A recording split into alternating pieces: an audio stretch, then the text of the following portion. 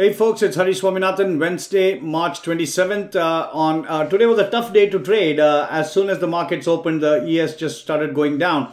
Nonetheless, we were able to take a quick trade on Apple, about 20%. This was a small trade, about $650 trade, and we made about 130.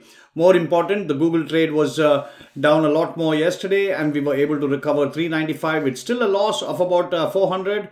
Uh, but um, we'll record it as a loss and uh, Apple is a 20% winner. And we're carrying over Nvidia into tomorrow. And these are all some of the more uh, swing trades that are going on above over here.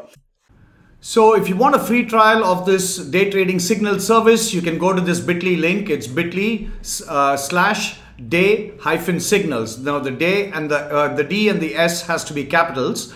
And once you go there, you can get a free trial. You can, you'll need to sign up there and you'll get a free trial. And uh, at the end of one week, if you don't want to continue, you can just send us an email at info at optiontiger.com and we'll give you a full refund. So once again, the bit.ly link is bit.ly slash day hyphen signals with the D and S in caps. Thank you.